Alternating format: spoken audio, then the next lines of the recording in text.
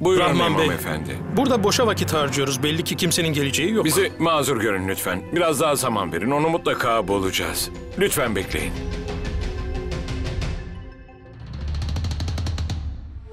Bilal nerede? Hiçbir fikrim yok. Ben de herkese onu soruyorum. Biliyorsun Rahman. Bilal vaktinde burada olmazsa Zeyn ve Aliya seni asla affetmez. Bilal nerede kalmış olabilir?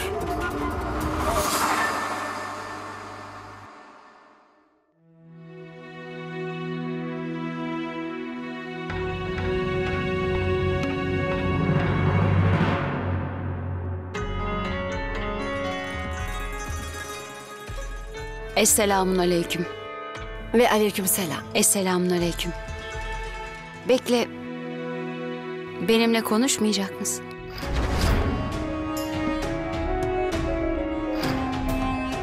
Nefise, hayatım boyunca seninle bir kere muhatap oldum. Ve sayende kızımın başına gelmeyen şey kalmadı. Ayrıca gelmeye de devam ediyor.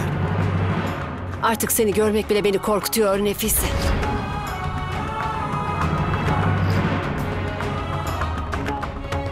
Sana hak veriyorum. Ama ben artık o kadın değilim. Ben kızının bana hediye ettiği hayatı yaşayan bir kadınım. Ve ömrüm oldukça ona hep borçlu kalacağım. Alya'nın başına kötü bir şey gelmeyeceğinden emin olabilirsin. Alya'nın başına kötü bir şey gelmeyecek mi? Bundan daha kötü ne olabilir Nefise?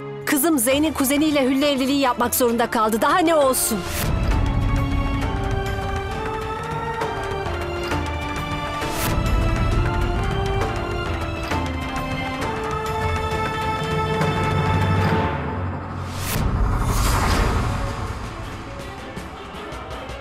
Artık Nefise'yi anlamakta zorlanıyorum.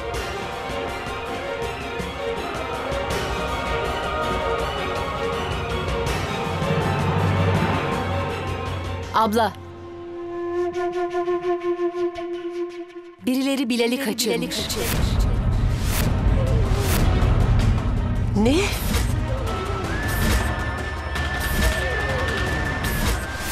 Birileri Bilal'i kaçırmış. Yürü, yürü dedim.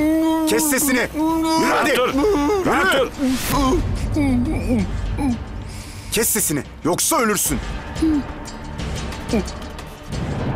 Bırakın Sus. beni ben gideyim lütfen. Kes sesini. Ben bir şey yapmadım lütfen.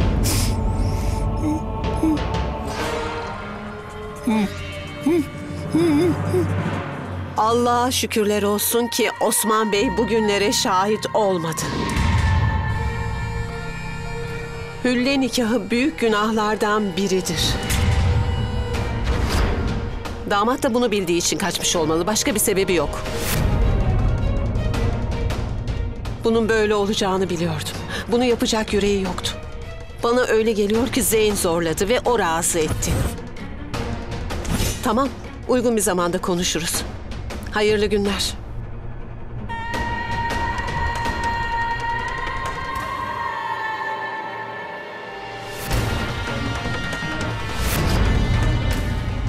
Neler oluyor böyle? Allah affetsin.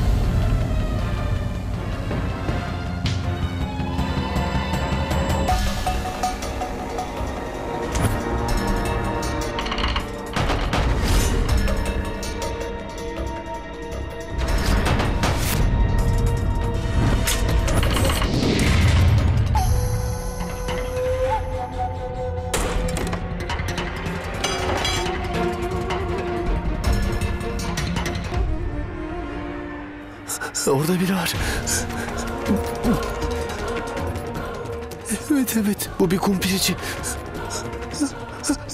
Ey! Bağıramam duyarlarsa beni öldürürler. O kadar açım ki patates tava görmeye başladım.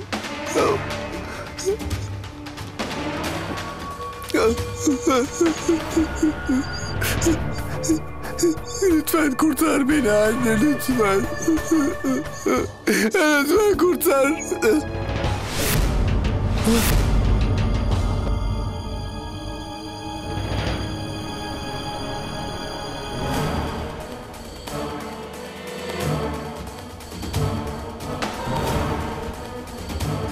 Çalış hadi çalış.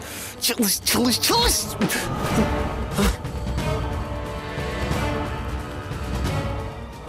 Ha çekiyor. 5, 8, 4. Alo? Zeyn sen misin? Zeyn benim Bilal. Bilal? Ama imam efendi bunu nasıl söylersiniz? Beni çok iyi dinleyin. Bunda çocuklarınızın suçu yok. Bu sadece sizin suçunuz. Bunu yaptığınız için utanın kendinizden. Hepimizi bu günaha ortak ettiniz.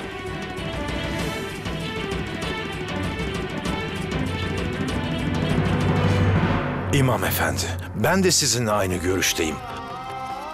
Ama sizi temin ederim ne karım ne de ben böyle olsun istemedik. Bu günah. Ama Allah aşkına düşünün. Kızımın ailesi olarak bunu sadece çocuğumuz için yapıyoruz biz. Onlar kendi hayatları ve mutlulukları için buna zorlandılar. Yüce Allah onları affetsin efendim. Allah bu günahı asla affetmez. Camide konuşulanları hatırla. Bunu kızına da söylemiştim. O çocukla tekrar evlenmek istiyorsa hülle nikah yapması gerekecek demiştim. Ama bu onunla evlenecek herhangi birini bulup sonra da boşandıktan sonra her şeyi düzelteceği anlamına gelmez. Bu caiz değildir. Bu çok büyük bir günah olur. Siz de bu hülle nikahıyla bu günah işlediniz vebali hepinizin boynuna. İslam hukukuna göre dul bir kadın pekala yeni bir evlilik yapabilir. Hayatını başka bir adamla birleştirebilir, nikahına girebilir. Bir gün bu koca onu kendi isteğiyle de boşamaya karar verebilir. Kadın da ancak o zaman eski kocasına geri dönebilir. Siz çok büyük bir günah işlediniz. Bu günah hepinizindir. İmam efendi açıklamama izin verin. Hayır bu günah değil, değil, değil.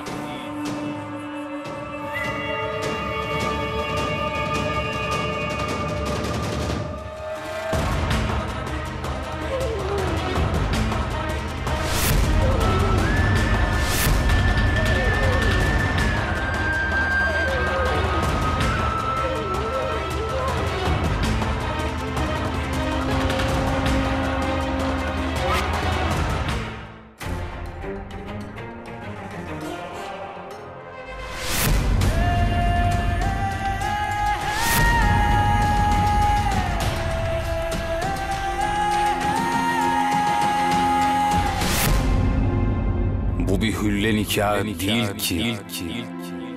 Nasıl günah olabilir?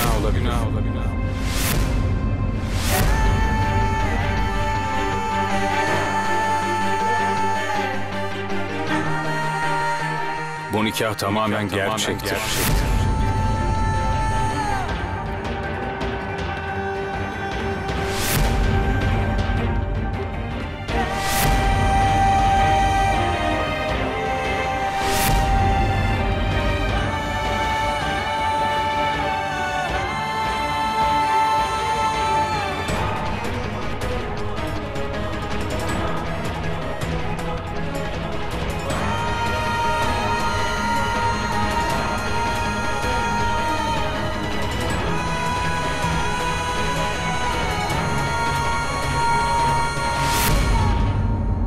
Aile Gulam Haydar,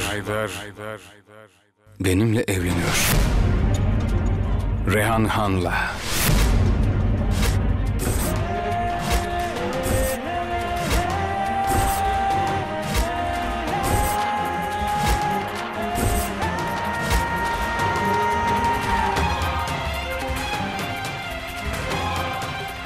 Kimse beni buna zorlamadı İmam Efendi.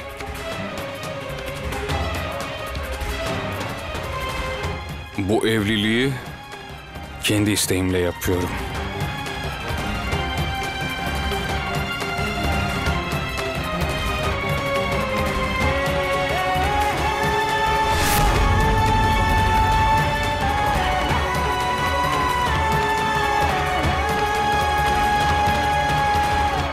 Birileri beni kaçırdı Zeyn. Yardım et bana lütfen. Kurtar beni. Nerede olduğumu bilmiyorum. E, Bulunduğum yerden bir tabela görebiliyorum sadece. E, Patates, patates sabah. O tabelayı görüyorum sadece. Merak etme her şey yoluna girecek. Seni bulacağım. Güven bana. Lütfen Zeyn kurtar beni buradan. Çok korkuyorum. Yardım et bana.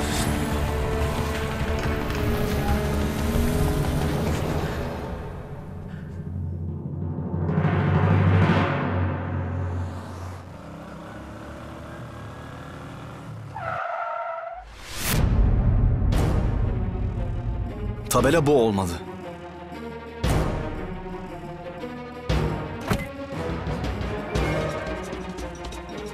Bilal, şu an tabelanın önündeyim. Şimdi nereye gideyim? Bilmiyorum beni burada kilit altında tutuyorlar. Önümdeki renkli camdan çok az şey görünüyor. Bir tek o patatesçinin tabelasını görebiliyorum. Bundan başka bir şey yok Zeyn. Lütfen sana başka ne diyebilirim bilmiyorum. Bir şeyler Arabamı yap. görebildin mi? Hayır Zeyn buradan başka hiçbir şey görünmüyor.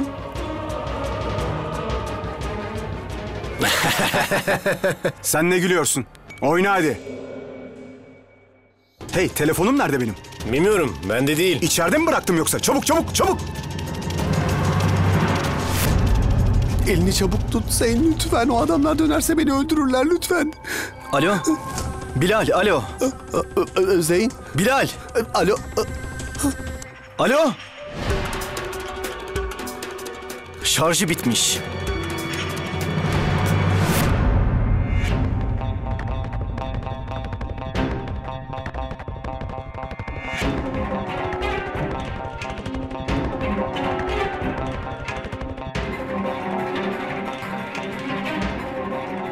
Bizim de istediğimiz buydu.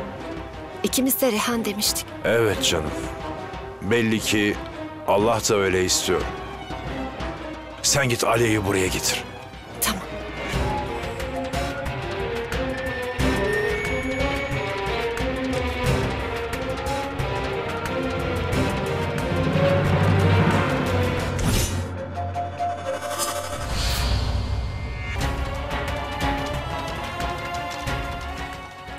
9 numara kapalı veya kapsama alanı dışındadır.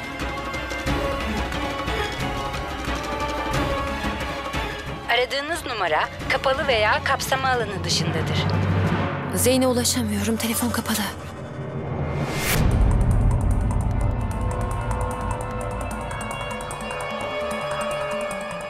Bilal beni hangi numaradan aramıştı?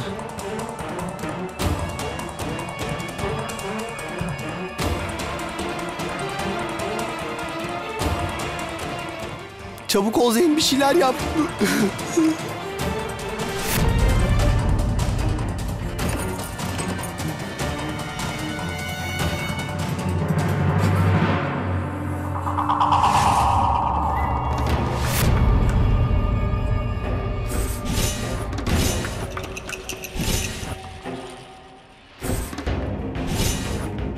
Sen dışarıda bekle.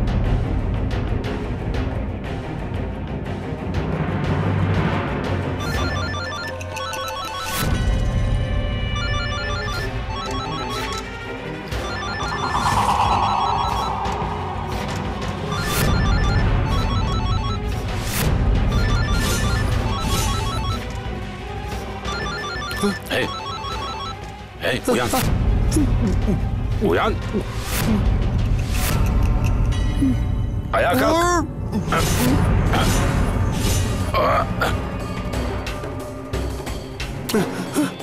Dur dedim. Yoksa ateş ederim. Çabuk tutun şunu. Hey!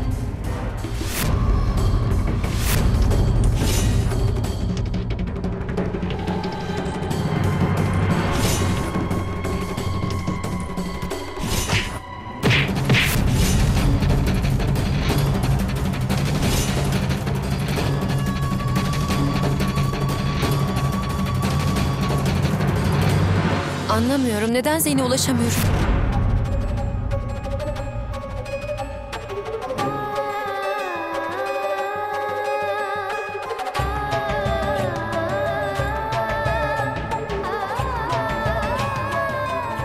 Gidelim Aile. Rehan seninle evlenmek istiyor kız.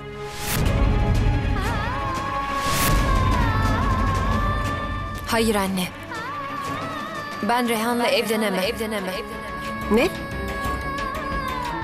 Neden bilmiyorum anne ama içimden bir ses bir sorun olduğunu söylüyor.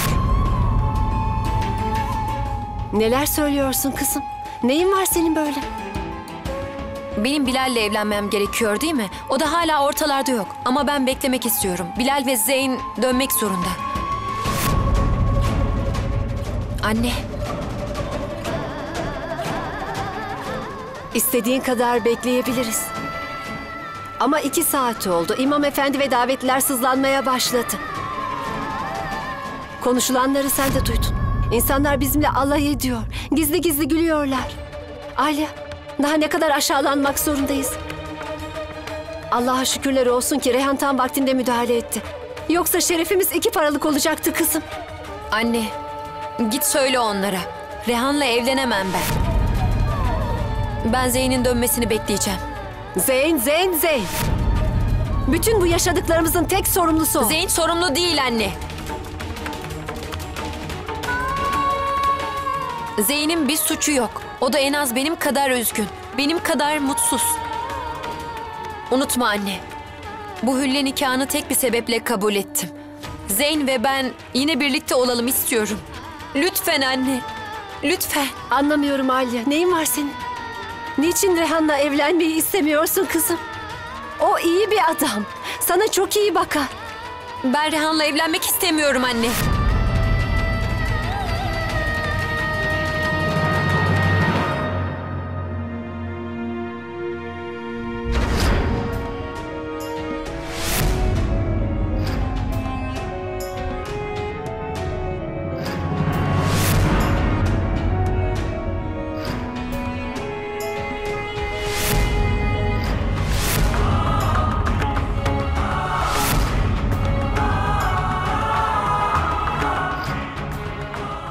Müsaadenizle Alya ile konuşmak istiyorum.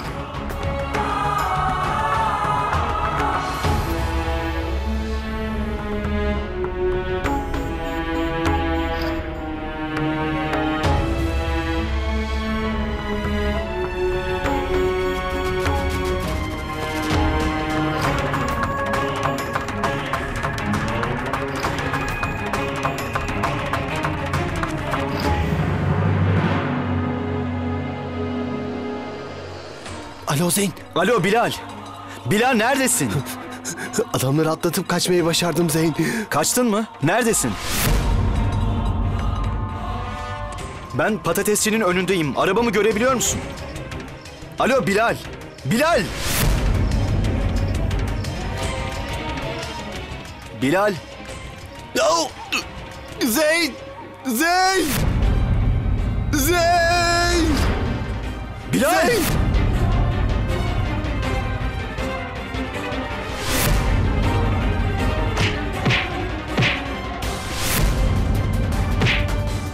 Bilal arabaya atla.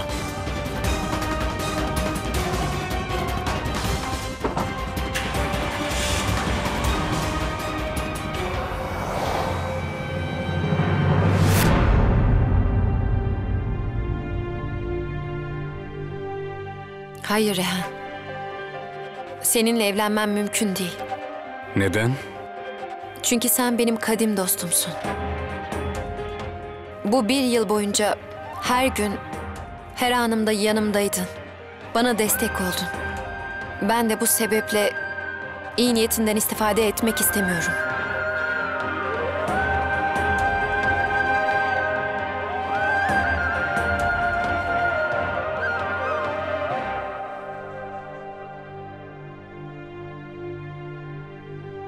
Benden istifade etmiyorsun. Ben bu evliliğe hür irademle razıyım zaten. Gulam Bey, Şaban'a Hanım çok acı çektiler, hakaretlere uğradılar. Sen de hep hakarete uğradın. Ama Rehan, bu kararı Zeyn'le konuşmadan veremem ben. Ona ulaşmaya çalıştım ama telefonu kapalı. Ama o dönene kadar bekleyeceğim. Bu büyük bir rezalete yol açar Alya. Eğer geri adım atarsak her şey daha da kötüleşir. Buraya sana şunu söylemeye geldim. Yapacağımız şey senin ve Zeyn'in istediği olacak. İstediğiniz gibi olacak. Ben de en fikrim. Hülle nikahı büyük günahlardan biri. Evet doğru. Ama böyle olsa bile ben bu günahı alıyorum. Biri almalı. Böylece Zeyn ve sen yakında yine birlikte olabileceksiniz. İzin ver bunu yapayım.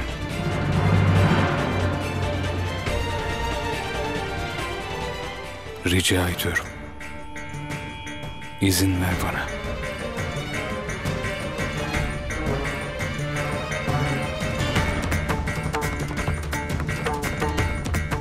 Beni bir dost kabul ediyorsan bu sözümü dinlersin.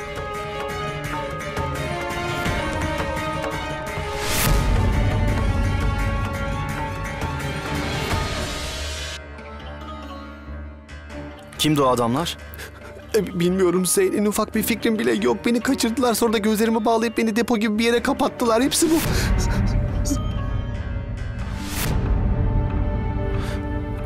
İşte o bina. Bu o bina Zeyn. Beni kapattıkları yer orası. O bina. Kaçtığım yer orasıydı Zeyn. Beni oraya kapatmışlardı. Oradan kaçtım. Ben oradan kaçtım işte.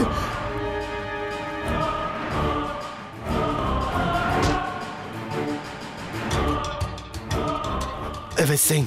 Beni bu evde tutuyorlardı. O herifler gelmeden gidelim buradan. Hadi arabaya bin.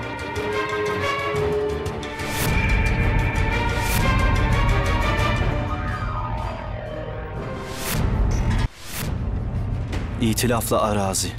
Sorumlu avukat Rehan Habib Kaan. E, Zeyn kardeş. Bu ismi hatırlıyorum Zeyn. Rehan. Bu isimle birini arayıp iş tamam demişlerdi. Rehan.